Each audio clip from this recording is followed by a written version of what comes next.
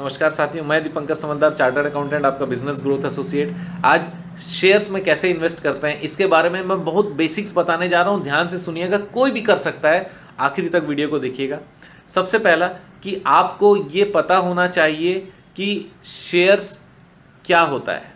Shares क्या होता है, किसी भी कंपनी में जो पूंजी लगी रहती है, उसका एक छोटा सा हिस्सा, चाहे वो दस रुपए का एक हो, चाहे सौ रुपए का एक हो, उस पूंजी में जो हिस्सा होता है उसको शेयर्स बोलते हैं। ये शेयर्स पहले पेपर फॉर्म में हुआ करता था। अगर आप किसी कंपनी में अपना हिस्सेदारी या कैपिटल लगाना चाहते थे तो पहले क्या होता था कि हम अप्लाई करते थे शेयर एप्लीकेशन देते थे, उसके बाद शेयर अलॉटमेंट होता था और शेयर अलॉटमेंट होने के बाद में हम लोग को शेयर इशू होता था। तो हमारे पास उसके बाद शेयर्स आते थे। वो शेयर पहले पेपर फॉर्मेट में होते थे।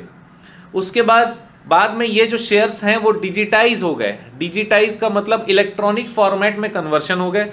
और इसके लिए उन लोगों ने एक वॉलेट एक स्टोर क्राइटेरिया या स्टोर का कंसेप्ट बनाया जिसको डीमैट बोलते हैं। डीमैट का मतलब होता है डीमटेरियलाइज्ड फॉर्मेट में शेयर्स को रखा जाता है। जैसे बैंक में आपका खाता होता है, उसी तरीके से डीमटेरियलाइज्ड डिजिटल खाता आपका होता है, जिसमें आप कोई भी शेयर्स खरीदते हैं तो वहाँ पर जाकर जमा हो जाता है। जब आप बेचना चाहते हैं तो उसके थ्रू शेयर्स को वहाँ से निकालकर बेचा जाता है। तो ये डीमेट फॉर्मेट में शेयर्स को रखने का जो जगह रहता है, उसको डीमटेरियलाइजेशन बोलते हैं। ये डीमटेरियलाइजेशन होने के बाद में शेयर्स का ट्रेडिंग और ज़्यादा आसान हो गया। लोगों ने पैसे लगाए, शेयर्स को डीमटेरियलाइज फॉर्म में लिया और उसके बाद उसको इन्वेस्ट किया। तो ये वाला कंसेप्ट क्लियर है? कि हमको शेयर्स को डीमटेरियलाइज फॉर्म में रखना होता है, उसके लिए डीमैट अकाउंट ओपन करने की ज़रूरत पड़ती है। तो सबसे पहला पॉइंट मेरा था डीमैट अकाउंट ओपन करने की ज़रूरत होती है। दूसरा डीमैट अकाउंट ओपन करने के लिए क्या क्या इंफॉर्मेशन की ज़रूरत पड़ती है?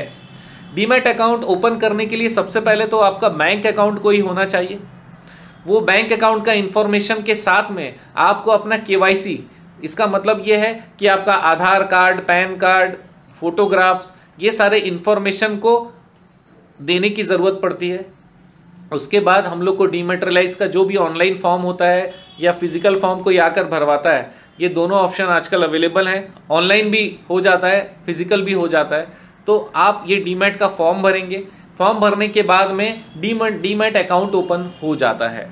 अब मैं आपको बता दूँ कि डीमेट अकाउंट ओपन करने के बाद में हमारा मेन जो काम रहता है, वो किसी न किसी ब्रोकर के थ्रू हमको शेयर का ट्रेडिंग करने की ज़रूरत पड़ती है।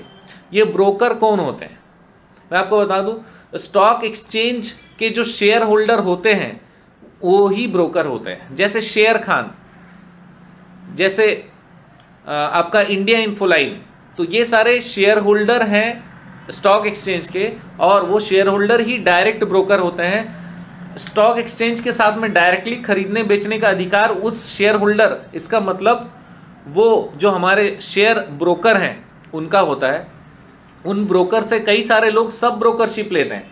सब ब्रोकर का मतलब उनके बिहाफ में वो काम करते हैं। ऐसा भी पॉसिबल है। तो आपको डीमेट डीमेट अकाउंट तो ओपन करना ही पड़ेगा और किसी न किसी ब्रोकर या सब ब्रोकर के साथ में रजिस्ट्रेशन करने की ज़रूरत है, ताकि आप ट्रेडिंग कर पाए, क्योंकि ट्रेडिंग उनके थ्रू ही आपका होना है। राइट? तो मैंने आपको बताया कि सबसे पहले आपका डीमेट अकाउंट होना चाहिए। डीमेट अकाउंट के लिए डॉक्यूमेंटेशन क्या क्या लगने वाले हैं और उसके बाद आपको ट्रेडिंग के लिए हमको ब्रोकर्स की ज़रूरत पड़ती है। वो ब्रोकर ऑलरेडी उस शेयर के जो सिक्योरिटी मार्केट है, वहाँ के शेयर होल्डर होते हैं। तो ये शेयर होल्डर लोगों के साथ में हम लोगों को खाता कनेक्ट करना पड़ता है हमारा डीमेटेरियलाइज अकाउंट उसके बाद हम लोग इन्वेस्टिंग और पैसे लगाना शुरू कर सकते हैं।